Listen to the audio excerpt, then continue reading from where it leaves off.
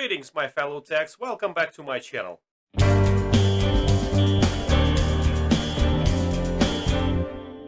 In previous video series, I used old Lenovo PC to install hypervisor and added pfSense firewall as one of the virtual machines. If you missed those video series, I strongly recommend to watch them to catch up, so it all will make sense. This video will give you a great idea about most effective and useful apps you can host in your home lab with limited hardware resources. Before making your life easier, I have very small request. If you like my content, click the like button. It is a small click for you, but for me it means a lot. Thank you. Now I'm gonna install the XCP-ng guest tools in this Debian VM.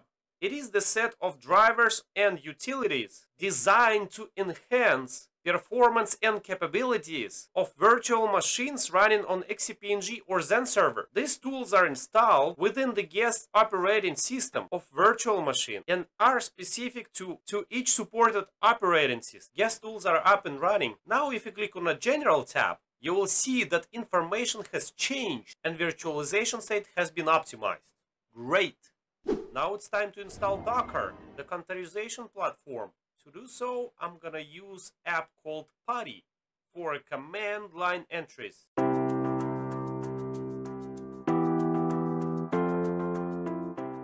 Then we're gonna install the Portainer. Portainer is the web-based user interface for managing Docker containers, images, networks. It allows users easily deploy, manage, and monitor Docker containers and services. Okay, first I need to create the Docker volume for the Portainer.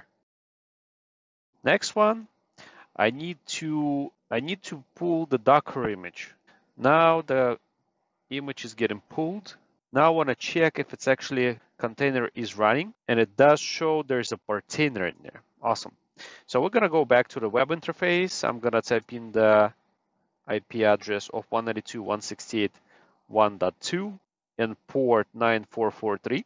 Okay, prompts me to create the username and password. I'm not gonna go crazy, but the password must be at least 12 characters long. So whatever it is, it's 12 characters.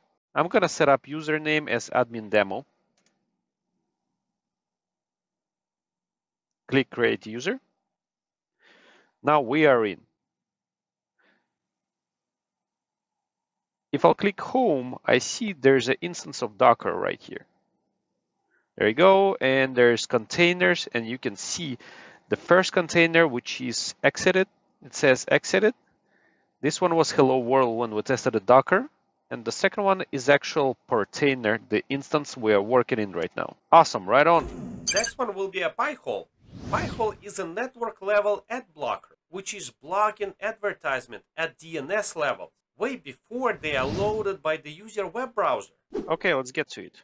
First, we're gonna click on our containers. To add the Pi-hole, we will need to create the new stack. So hit stacks, add stack. Need to put the name of the stack. So I'm gonna put it Pi-hole as all lowercase. I'm gonna run the script, which I copied from the Docker Hub website.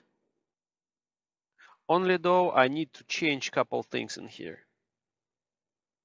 One of them will be a time zone. So I'm not in Chicago, I'm in Miami, so it's more like New York. Secondary, I want to set up the password. And I'll just put it, make it very simple, one, two, three, four, five, six. Remember that it's totally unsecured. Now I'm gonna click deploy stack and just wait a little Great, now you can see it showed up in the stacks and you can see our stack as a Pi-hole. Now click in dashboard and you can see the container is starting right now. Just need to wait a little longer. It turned in green and healthy. So let's continue. Uh, I'm gonna log into the Pi-hole. I put the IP address of 192.168.1.2. That's where my Pi-hole is. I'm gonna put the password 123456, which I put in uh, which I put into a Docker compose file. Click login. Don't, and here we go. The stats are clear as of right now. So we're gonna make it a test. I clicked on the tab where I have my pfSense instance. I click DHCP server. I scroll down a little bit to the DNS servers and I put it in as one of the primary DNS services my Pi-hole instance, which is 192.168.1.2. Save and apply. Now I pulled up the Windows network settings and you can see the current settings that my uh, Windows machine was at 192.168.1.31. That was the manual entry. So I'm gonna make it automatic entry and click, click OK. Let's check the details again. Main IP address of my Windows machine became 192.168.1.103. And as you can see it a little bit at the bottom, the DNS server is 192.168.1.2, which is the Pi-hole. Now what we're gonna do, we're gonna go to the simply Google and we're gonna run the speed test. There we go. So speed test is running. Now we're gonna get back on the tab of the Pi-hole and refresh the page. And there you go. So see, there's 164 inquiries and 12 of them were blocked. Those are ads. If I'm gonna click on the total queries button, you see one of them is my Windows machine, which is 192.168.1.103. And you can see how many queries actually been coming from that machine. Now let's take a look on the list of the blocked queries. And there you are, look. There's an ad service by Google, there's incoming telemetry by mozilla.org, that's the browser, and so on and so on. Now I'm gonna click the dashboard and just gonna scroll down a little bit and here you are. You can see the top block domains and top permitted domains and etc which is awesome. And no more ads for your internal network. That's exactly what we've been looking for right? Another one will be uptime kuma. Uptime kuma is open source monitoring tool which is used to check status of websites apis services devices it provides alerts and notifications to a user in case of any downtimes or outages by the way, I have another very easy to watch and understand video about use case of Uptime Kuma. Check it out. And Uptime Kuma, let's get to work. First, we're gonna go to Portainer instance. We'll click home. I'm gonna click into the local Docker. I'm gonna add another stack. Click add stack. I'll input the name Uptime Kuma all together, lowercase, and I'm gonna copy and paste Docker Compose script which I took from Docker Hub website as well. I'm not planning to change any values and I'm gonna click deploy the stack. Just wait a little. Okay, stack is deployed and it show up next to Pi-hole. I'll click the dashboard, click containers, and we're just waiting Uptime Kuma container to get started. Great, it became green and healthy. Now I'm gonna click the new tab. I'm gonna put the same IP address 192.168.1.2, but I'm gonna add port of 3001. That's my Uptime Kuma new instance. Right here, I have to set up the username and password, and it's gonna be admin demo 123456. Click create. It tells me that the password is too weak and it should be alphabetic and numeric characters. So I'm gonna add the just letter A to the end. Now there is a dashboard. So let's add something to monitor. And I'm planning to add to monitor the my Pi-hole instance. And I'm gonna do it by the TCP port, very simple. I'll put the friendly name as the Pi-hole, put the IP address of 192.168.1.2 and port 80. Heartbeat interval I'm gonna leave as 60, so it's every minute gonna be checking on its health. So now you can see the first instance shows that it's being checked and Pi-hole is reachable. What I'm gonna do now, I'm gonna actually stop the Pi-hole container and let's go back to Uptime Kuma. And we're gonna wait a little bit to see if it's gonna check its health. Yep, you can see Pi-hole exited.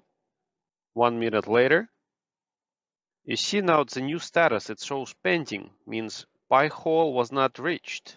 I'm gonna change the heartbeat settings to every five seconds to make it faster, but it tells me there is a cannot be less than 20 seconds. So it's let's save it.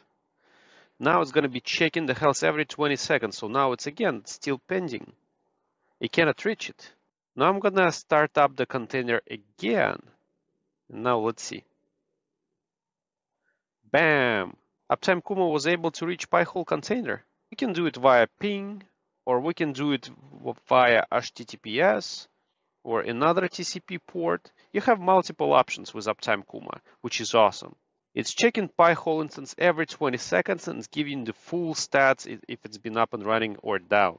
Oh boy, you started to get too many leaks for services. And how to remember them all? Heimdall.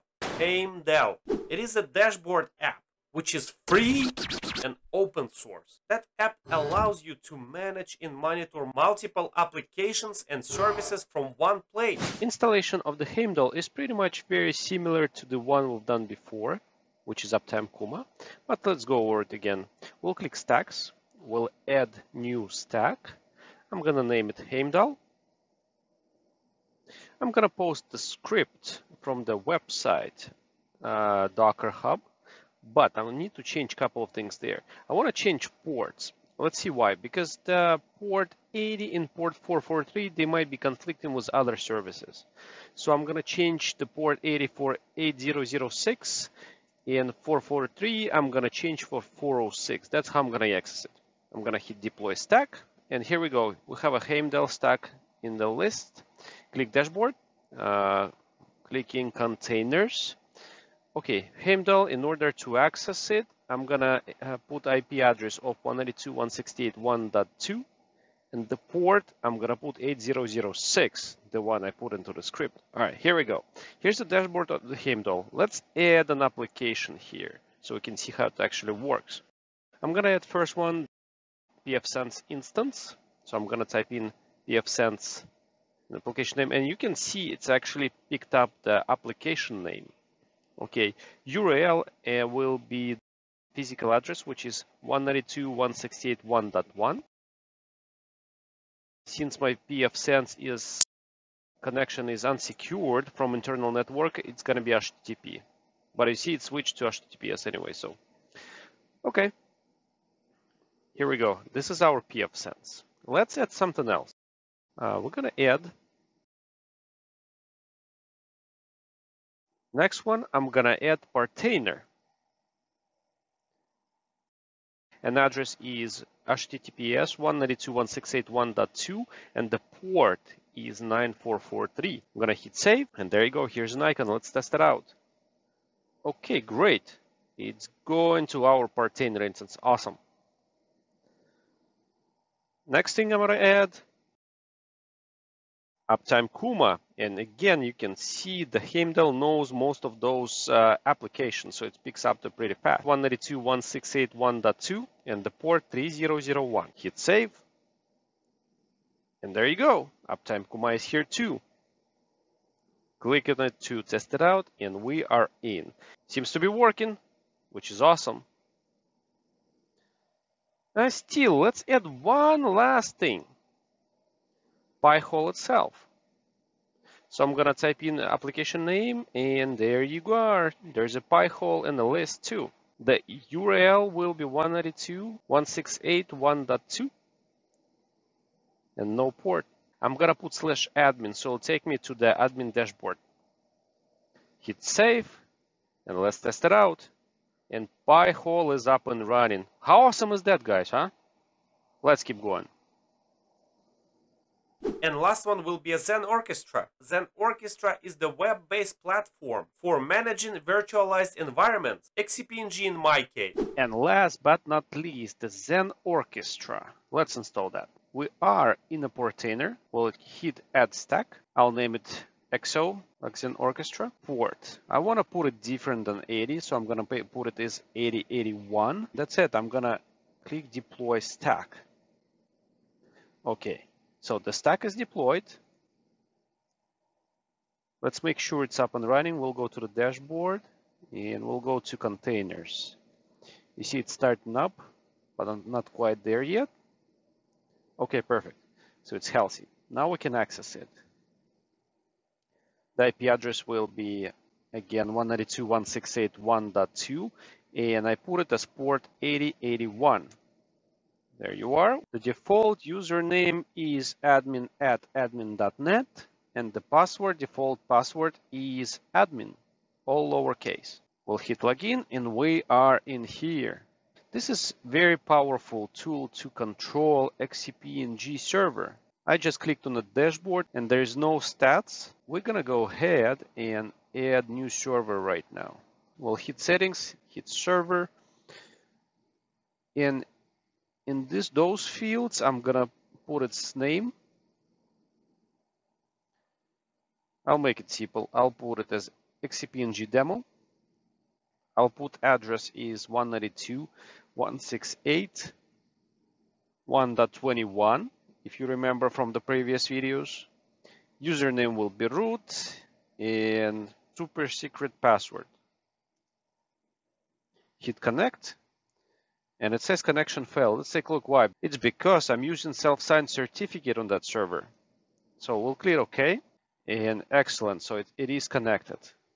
So let's check it out. I'm clicking home and you can see we have those two instances we installed in previous videos, Debian and pfSense. They are both here. If you're gonna go inside the Debian Bullseye instance, you, now you can see all the stats of this VM in there, like a CPU usage or memory usage, if there's any snapshots and etc. backups. The same is for the pfSense. We have full stats of CPU. We can work with it through the console or all network interfaces.